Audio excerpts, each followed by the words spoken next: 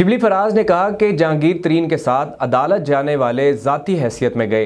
ये पार्टी के लिए नहीं, जहांगीर तरीन के लिए गए हैं। इमरान खान की नज़र में इंसाफ सब के लिए बराबर है। सेनेटर शिबली फराज ने मीडिया से गुफ्तु करते हुए कहा कि जहांगीर तरीन पार्टी के पुराने मेंबर हैं। इनके साथ कई लोगों के ताल्लुकात हैं। मुल्क तरक्की इस वक्त तक कर सकता है, जब बिला तफरीक एहतसाब होगा।